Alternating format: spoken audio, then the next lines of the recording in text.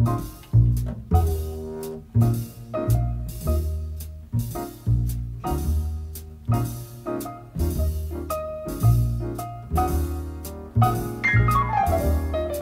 marasme dans l'industrie, le commerce, l'élevage, les moyens de communication, la stagnation de l'économie, le blocage du progrès. Et tout ça par la faute de qui?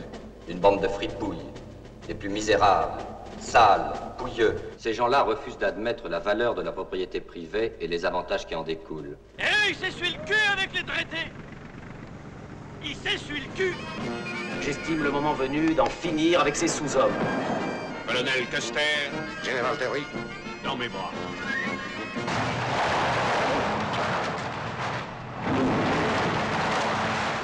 c'est ça le progrès. Nous couvrirons le territoire du pays de voies de chemin de fer. À quoi pensez-vous, colonel À rien. J'ai envie de charger, je vais charger. Hmm